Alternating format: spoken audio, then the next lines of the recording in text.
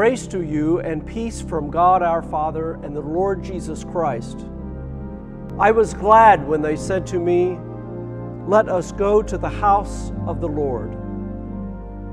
Let the words of my mouth and the meditation of my heart be acceptable in your sight, O Lord, my strength and my Redeemer.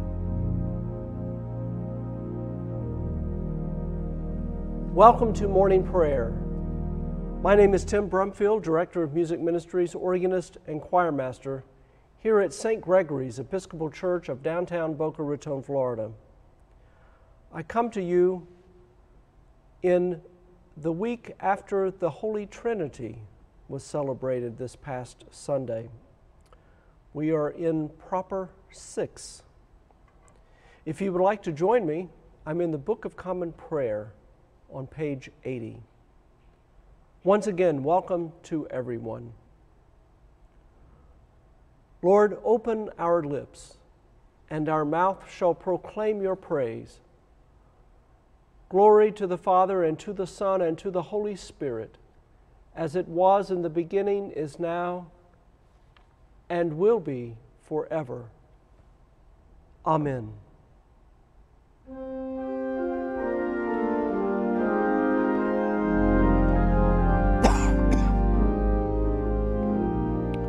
O come, let us sing to the Lord. Let us shout for joy to the rock of our salvation. Let us come before his presence with thanksgiving and raise a loud shout to him with psalms.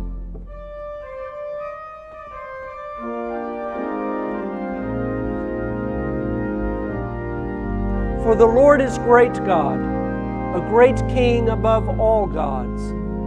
In his hands are the caverns of the earth, and the heights of his, the hills are his also. The sea is his, for he made it, and his hands have molded the dry land.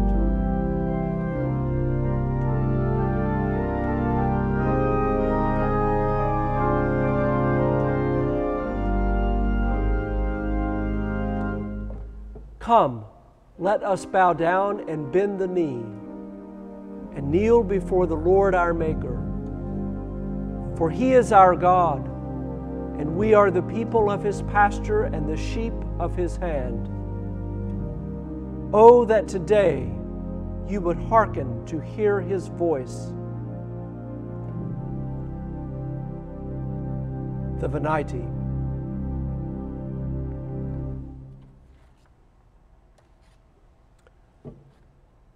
Our psalm appointed for today is Psalm 78, verses 1 through 79. I'm sorry, 1 through 39. It's found in the Book of Common Prayer on page 694.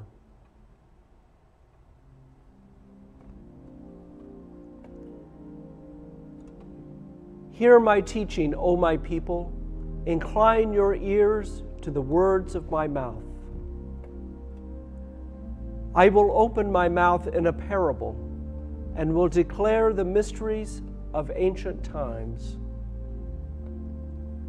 That which we have heard and known, and what our forefathers have told us, we will not hide from their children. We will recount to generations to come the praiseworthy deeds and the power of the Lord and the wonderful works he has done. He gave us decrees to Jacob and established a law for Israel, which he commanded them to teach their children, that the generations to come might know and the unborn children might know, that they in their turn might tell it to their children,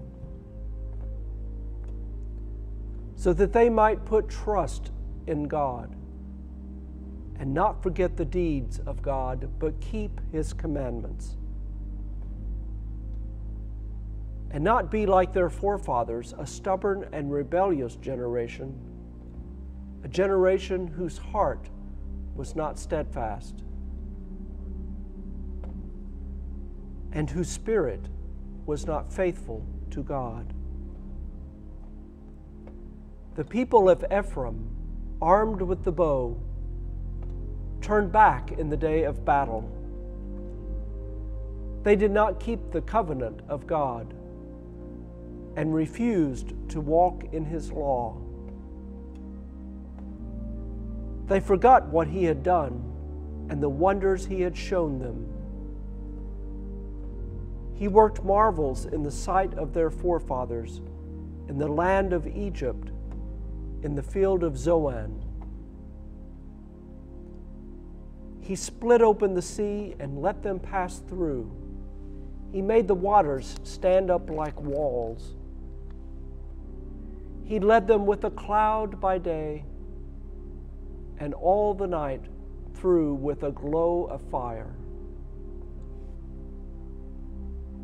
He split the hard rocks of the wilderness and gave them drink as from the great deep.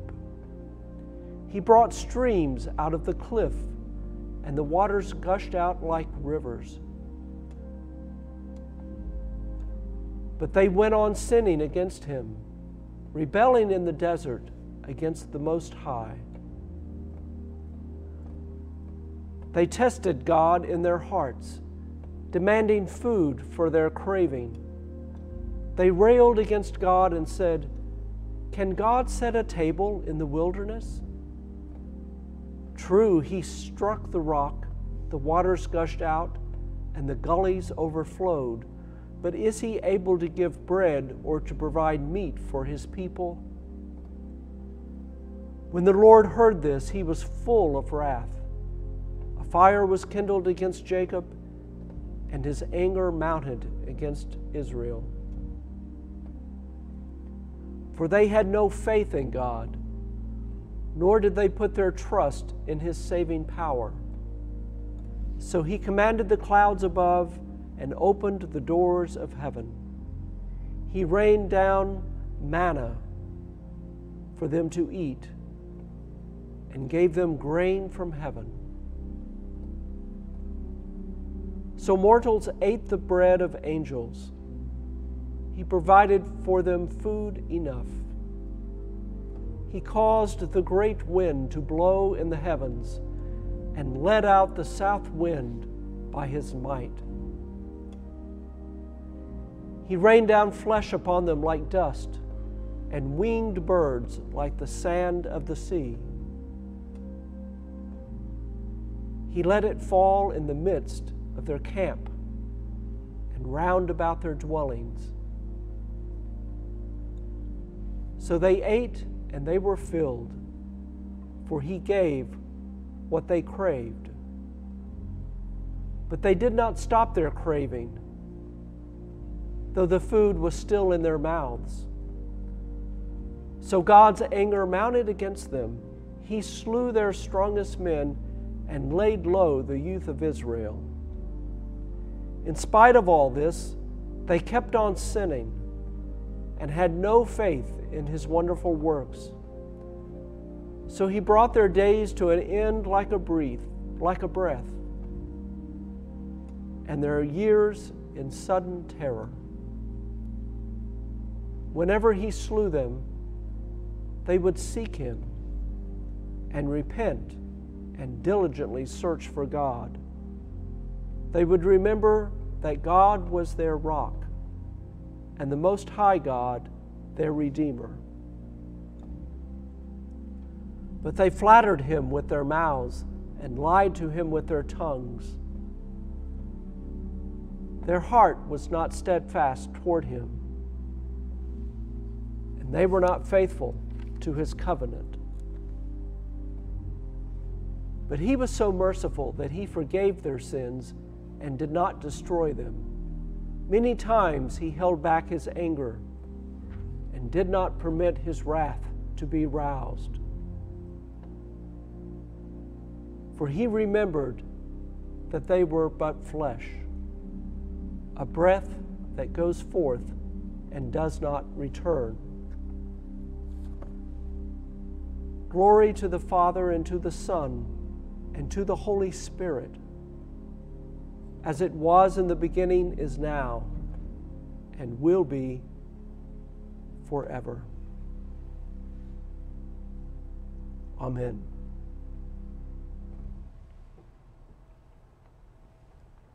Our first lesson this morning is taken from Paul's letter to the Romans,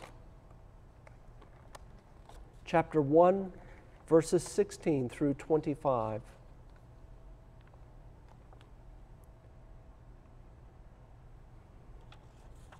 I am not ashamed of the gospel. It is the power of God for salvation to everyone who has faith, to the Jew first, and also to the Greek. For in it, the righteousness of God is revealed through faith for faith. As it is written, He who through faith is righteous shall live. For the wrath of God is revealed from heaven against all ungodliness and wickedness of men who by their wickedness suppress the truth.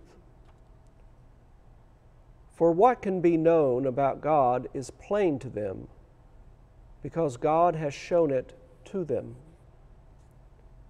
Ever since the creation of the world, his invisible nature, namely his eternal power and deity, has been clearly perceived in the things that have been made. So they are without excuse. For although they knew God, they did not honor him as God or give thanks to him, for they became futile in their thinking, and their senseless minds were darkened. Claiming to be wise, they became fools and exchanged the glory of the immortal God for images resembling mortal man, or birds, or animals, or reptiles. Therefore, God gave them up in the lusts of their hearts to impurity, to the dishonoring of their bodies among themselves because they exchanged the truth about God for a lie and worshiped and served the creature rather than the Creator, who is blessed forever. Amen. The word of the Lord. Thanks be to God.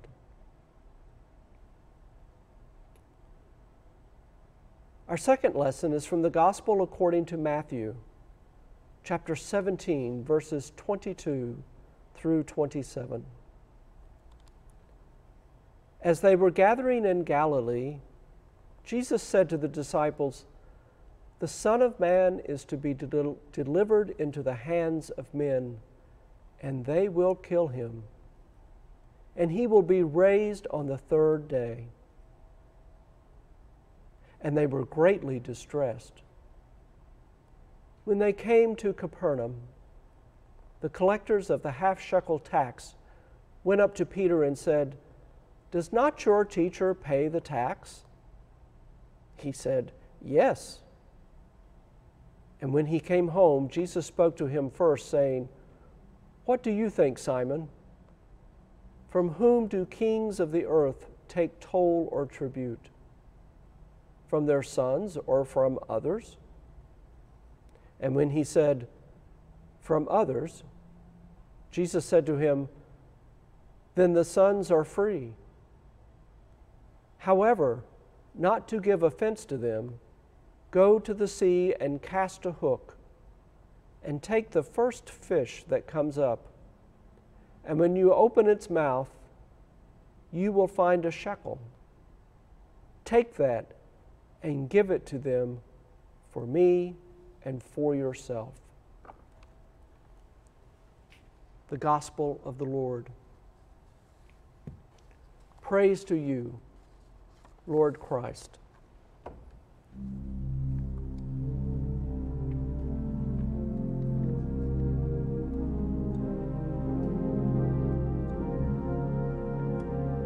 O Lord and ruler of the host of heaven, God of Abraham, Isaac, and Jacob, and for all their righteous offspring.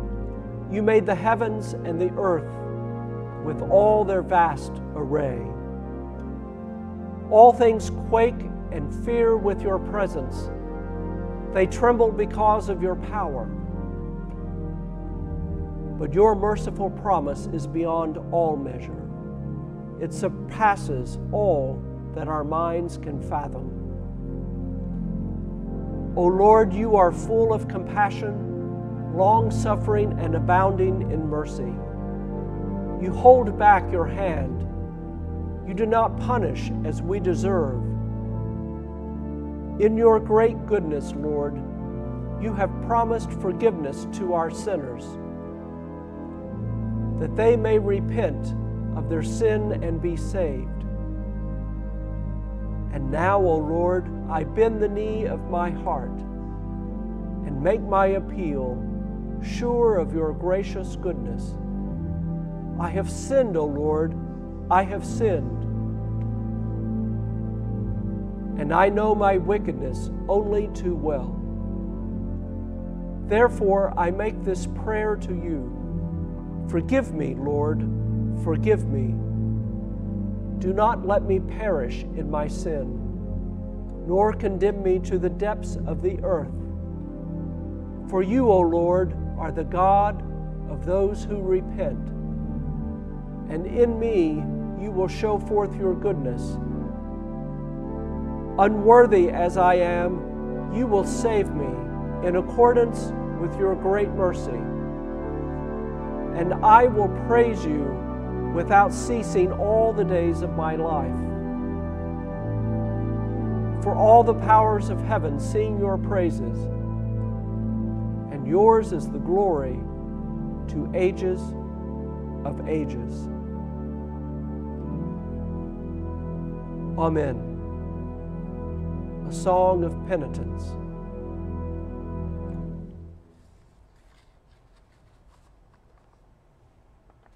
Let us now meditate on the Apostles' Creed. I believe in God, the Father Almighty, creator of heaven and earth. I believe in Jesus Christ, his only Son, our Lord. He was conceived by the power of the Holy Spirit and born of the Virgin Mary. He suffered under Pontius Pilate was crucified, died, and was buried. He descended to the dead. On the third day, he rose again and ascended into heaven. He is seated at the right hand of the Father. I believe in the Holy Spirit, the Holy Catholic Church, the communion of saints, the forgiveness of sins the resurrection of the body, and the life everlasting. Amen. The Lord be with you. Let us pray. Our Father who art in heaven, hallowed be thy name. Thy kingdom come, thy will be done on earth as it is in heaven. Give us this day our daily bread, and forgive us our trespasses as we forgive those who trespass against us. And lead us not into temptation, but deliver us from evil. For thine is the kingdom, and the power, and the glory forever and ever. Amen.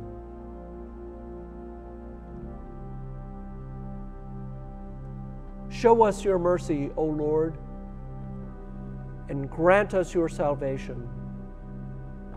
Clothe your ministers with righteousness. Let your people sing with joy. Give peace, O Lord, in all the world for only in you can we live in safety. Lord, keep this nation under your care and guide us in the way of justice and truth. Let your way be known upon the earth, your saving health among all nations. Let not the needy, O Lord, be forgotten, nor the hope of the poor be taken away.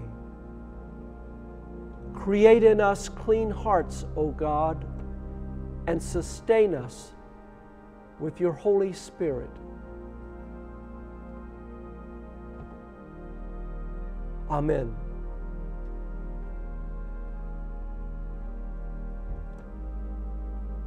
O God, the King eternal, whose light divides the day from the night and turns the shadow of death into the morning. Drive far from us all wrong desires. Incline our hearts to keep your law and guide your feet, guide our feet into the way of peace. That having done your will with cheerfulness during the day, we may, when night comes, rejoice to give you thanks through Jesus Christ our Lord. Amen.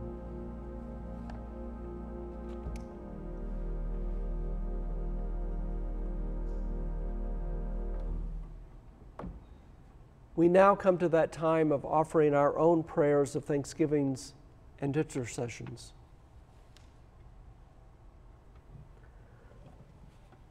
We pray for all of those who are on our prayer lists. We pray for those who may be ill, either at, at home, in the hospital,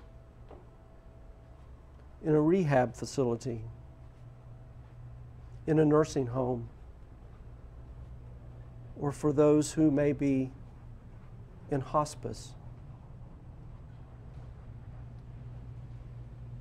We pray for all those who are worrying over the health of their loved one. For those who may be at the bedside of a family member.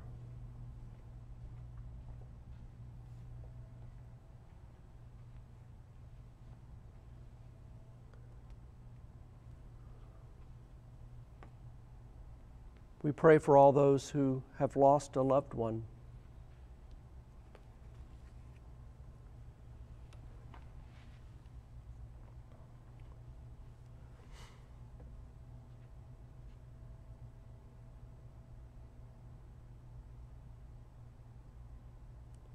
We pray for the grieving.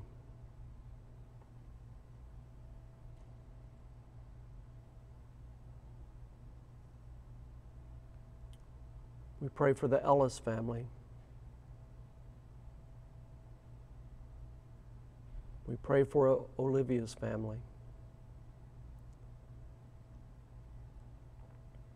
We pray for Mike's family.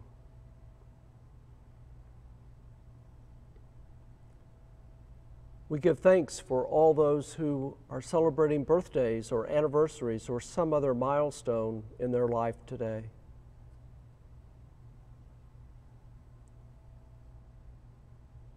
We give thanks for this church, for the many ministries of St. Gregory's, for its staff, for its ministers, Father Sherman and his family, as they are on vacation. May they have a wonderful time and a restful time and return safely to us. We pray for Father Thomas and his family.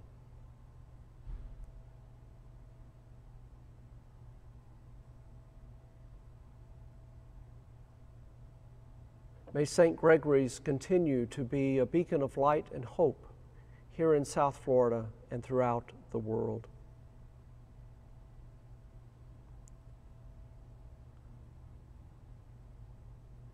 We pray for peace. We pray for all those in Ukraine who are under the scourge of war. Keep them safe, dear Lord.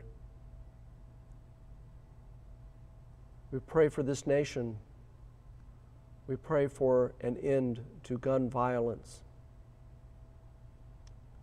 We pray for all those who have suffered from gun violence all these many years. Most recently in Buffalo and Texas.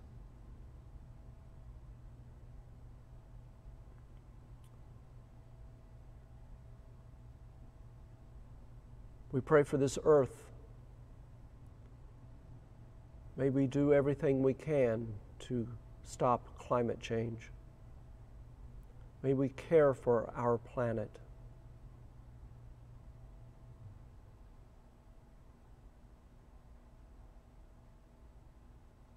We pray for this world and our leaders. May they make decisions out of love for all your people.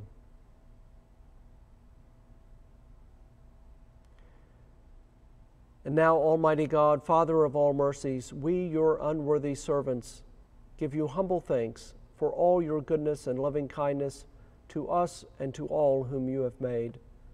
We bless you for our creation, preservation, and all the blessings of this life. But above all, for your immeasurable love in the redemption of the world by our Lord Jesus Christ, for the means of grace and for the hope of glory.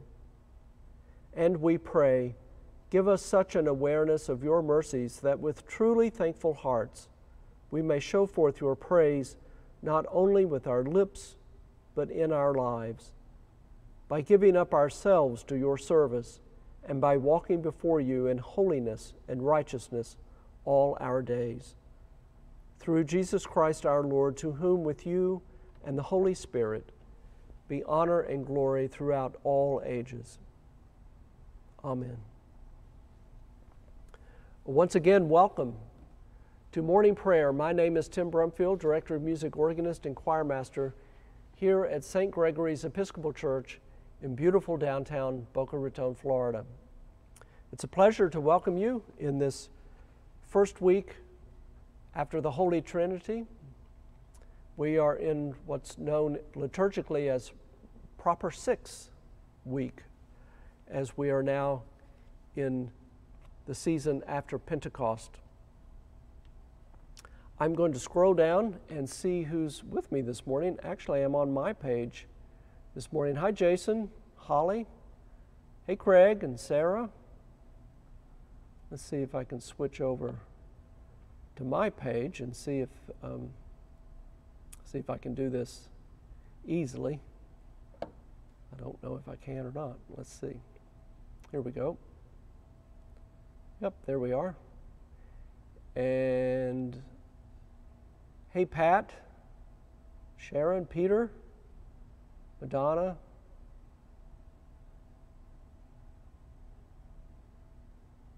Hi, Craig. Pray for Gail in the hospital.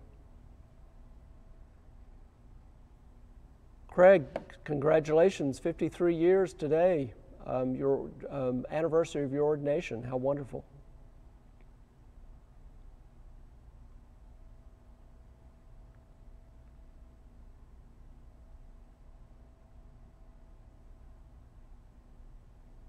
for Esther Lane and husband Roland. Hi, Laura. Wonderful. Well, it's so wonderful to have everyone with me this morning, whether you're on my page or St. Gregory's. Congratulations to Father Craig on his ordination anniversary. Uh, I'm going to close this out with a final meditation. And since, it, since we are in the week of Trinity, I'll close this out with something that uh, I began this uh, today's service with. One of my favorite hymns. We only get to sing it uh, and hear it during the week of Trinity. So um, uh, I will leave you with Holy, Holy, Holy. Thank you all so much. I'll close this out with a final blessing.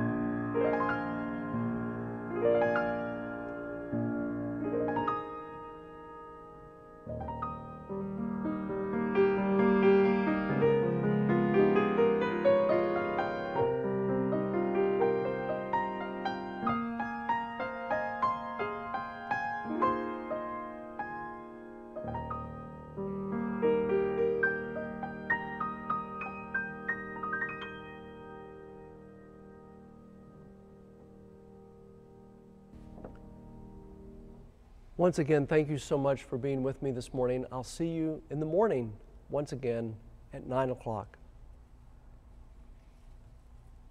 I want to close this out with one of my favorite prayers the prayer of St. Francis. Lord, make me an instrument of thy peace. Where there is hatred, let me sow love. Where there is injury, pardon. Where there is doubt, faith. Where there is discord, harmony. Where there is despair, hope. Where there is darkness, light. And where there is sadness, joy. O divine Master, grant that I may not so much seek to be consoled as to console, to be understood as to understand, to be loved as to love. For it is in giving that we receive, it is in pardoning that we are pardoned, and it is in dying that we are born to eternal life. Let us bless the Lord. Thanks be to God.